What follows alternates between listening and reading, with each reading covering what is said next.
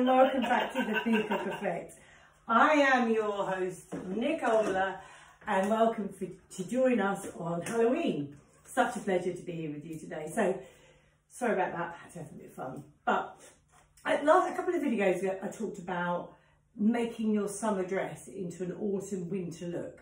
So today I've done that. So I've added a winter boot. I've gone for a high one because I do like a heel and the biker jacket. So underneath the biker jacket, I've layered it up with a polo neck and put a different belt on.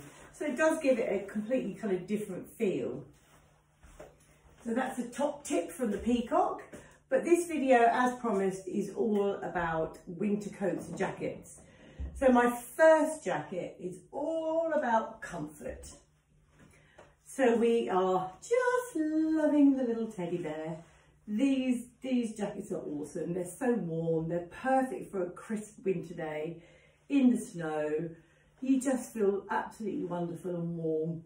This colour is a great colour because it's quite neutral so you can mix and match things up with it to get a different feel. So black boots, black hat, black gloves, black jumper, or completely go the other way and then purple or even pink if you're confident enough.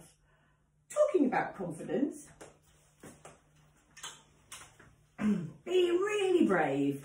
Another teddy bear coat, jacket, sorry, and this one's got a lovely stripe of colour, if you can see that on the camera. But it's just, you know, it's got the pinks, the blues, the purples, the orange, and the, it's almost like electric blue black.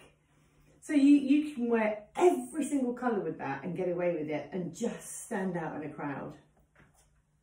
But these lovely jackets are absolutely useless in the rain. So if you're going to go out and it's raining, avoid those at all costs. Go with, now you've probably seen me wear this one before.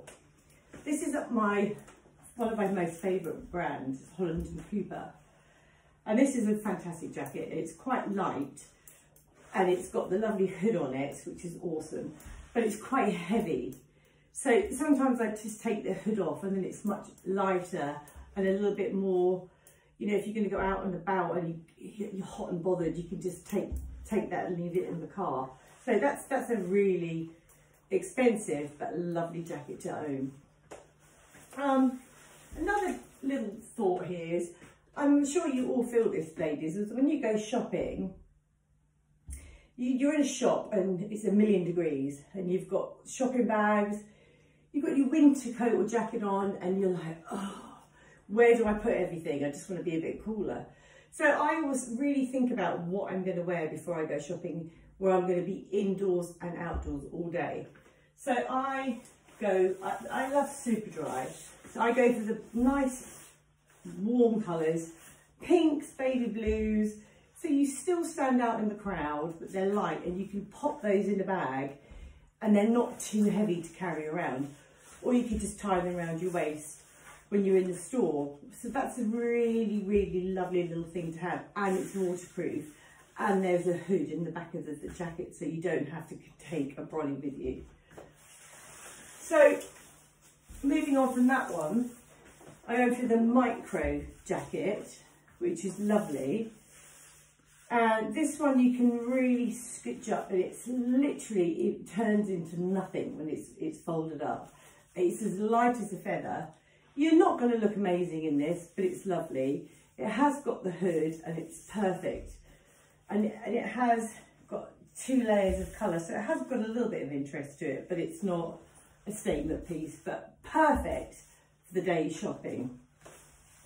Now, if you're going to be out and about and it's really, really cold, then you need to go for the coat.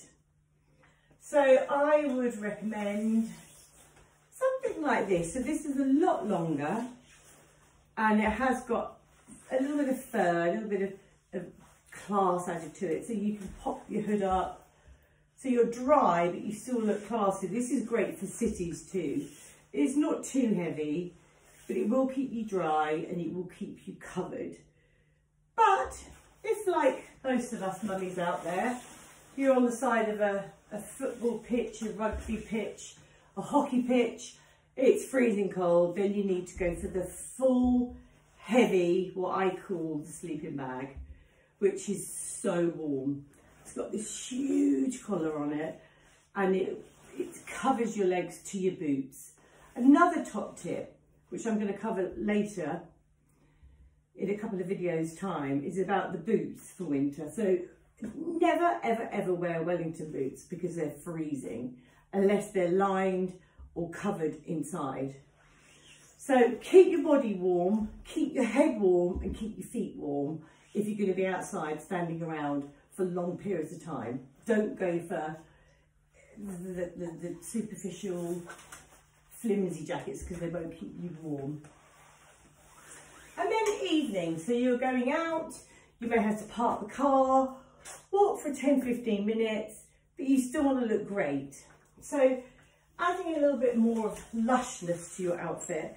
You know, the fur is always a great thing because it always makes everything look a little bit more grander. You can put a belt around that. So that's nice with jeans and boots. Simple, with a little bronzed collar, which I really, really like. And it's comfortable, but you can pack that next to your chair and it doesn't take up a lot of room.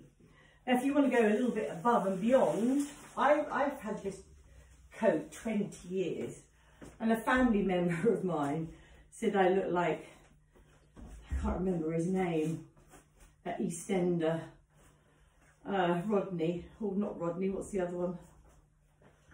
Anyway, it will come to me. But I love this and I think over white jeans, the white jumper, beige boots, it will just look so lovely and comfortable. But again, it is quite heavy and you will need to get it hung up.